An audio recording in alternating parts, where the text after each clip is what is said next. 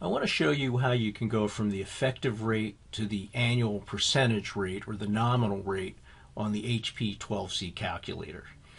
Now I've done this for the HP, I believe it's the 10B2 calculator, as well as for the TI BA2 Plus calculator. Now those are really quite easy because they actually have an interest rate conversion function built in that allows you just to type in the nominal rate or the APR, and then just tell it how many compounding periods, and then it, it, it calculates the effective rate. And you can go in the other direction as well. The 12C doesn't have this function, so there are a few keystrokes you have to go through. So, just to recap here, the annual percentage rate is the periodic interest rate multiplied by the number of periods. It's sometimes referred to as the nominal rate and it's the annual rate quoted by law. So, for example, if it's 1% per month, they're 12 months in a year, the APR is going to be 12% per year. What the APR does not do is it does not account for the effects of compounding. The effective rate does account for compounding, so what it does is this, this interest rate is expressed as if it were compounded once per year. So we're allow this allows us to do comparisons of rates with different compounding periods. So for example, suppose you could get 12.5% compounded annually, so once a year, or you get 12% compounded daily. What's the better choice? Um, if we calculate the effective rate for the 12% compounded daily, we can compare it to that 12.5% rate and determine which is better. So the formula is that the EAR is you take the APR, you divide it by the number of compounding periods, and the APR has to be in decimal form. So if it's 12%, it has to be 0.12. You would, if it's monthly compounding, you divide it by 12 and then you'd raise it to the 12th power. Well, you'd add 1 to it and then raise it to the 12th power, and then you subtract 1. So you can th- think about this. Let's say it's 12% monthly. This is going to be 1% per month for 12 months. So you're going to get 1% each month, and then the next month you're going to get another 1%, but there's that compounding effect. Let's try and do the calculation here. And mathematically, let's do this for an 18% APR for a credit card. And that's a pretty common rate. It's 1.5% per month. What you do is you take that 0.18, you divide it by 12. That's 1.5% or 0.015. You raise it to the 12th, you add 1 to it, and then raise it to the 12th power and subtract 1. And if you do that, you get 0.1956 or 19.56%. So let me show you how to do this on the 12C calculator. Because they don't have a function, you've got to go through uh, several calculations here to get it to work, or several keystrokes to get it to work. All right, so let's call up the calculator. Um, what we're going to do here is we're going to go through the process. When you hit the G key, that gets these blue keys down here.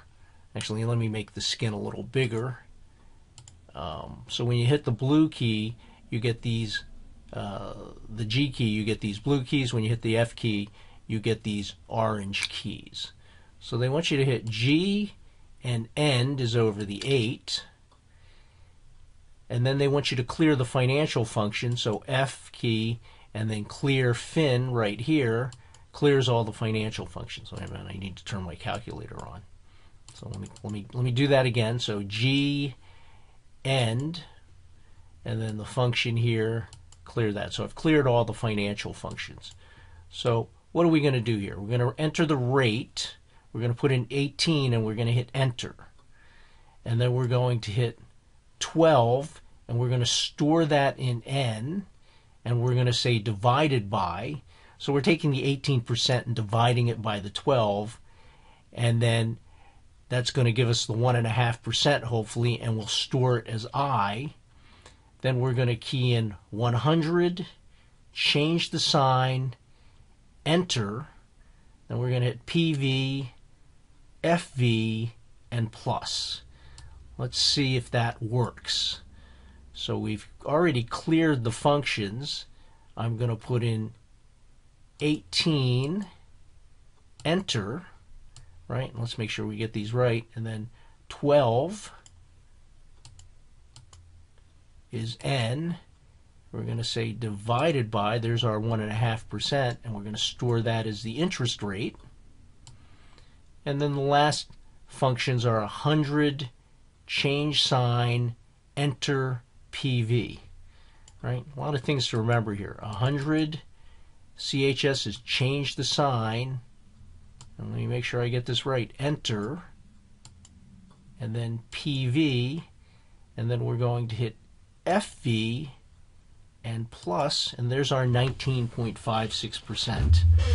So I don't know if that's an easier thing to remember than the formula, but that's the keystroking for going from the APR to the EAR, to the effective rate. If we want to go from the A from the EAR to the APR, probably not as common. Remember, the APR is what's quoted by law. So actually, if you go into a bank, and most of us don't go into banks very often, but if you go in, there's a lot of times you'll see a, a board, uh, you know, on a on a little easel, and it tells you the different rates for certificates of deposit. It'll give you the EP, uh, the APR, and then it'll also tell you the effective rate. So if you want to go in the other direction, you can take this original equation we just used, and you can do some algebra, and it turns out to be m times what's in these outer brackets, and in the inner bracket it's 1 plus EAR raised to the 1 over m power. Okay, it doesn't really quite look like it, but that's raised to that power minus 1 and then times m. All right, and we can do this. We'll do it for the 19.56 because we know it was 18% APR. We'll just go backwards. And if you do this, 1 plus 0.1956 raised to the 1 12th power minus 1 times 12. And because it's actually not exactly 0.1956, it's 0.1956 and some decimal places, it comes out to 0.17998, or rounds off to 18%. Let's try this on the 12C calculator. Again, we're going to clear our financial functions. We're going to put in the number of compounding periods. We put in key in 100, enter PV, and then we put in the EAR 19.56 plus, change the sign, FVI, and then recall N and times. All right, so let's see if that, that actually works here. I'm going to clear my financial functions. And then let's see what we can do here. 12 and N. So I'm going to put in 12, and that's the number of periods. And then 100, enter, and PV. 100, enter, PV. We key in the 19.56 the plus sign, change signs, FVI. All right, so 19.56 plus change sign FV FV sorry I'm I'm I have to keep moving this I use the smaller skin so there we get the 1.5% interest rate. So if you think about it, um, that was the conversion there. And then we're going to hit recall n, remember n was 12, and then hit times, and there we get the 18%. So this you can see, you're just, once you've calculated this, um, this rate, then you have to multiply it by the 12. So that's the part on the inner part of the bracket, and then the outer bracket is the multiply by the number of compounding periods.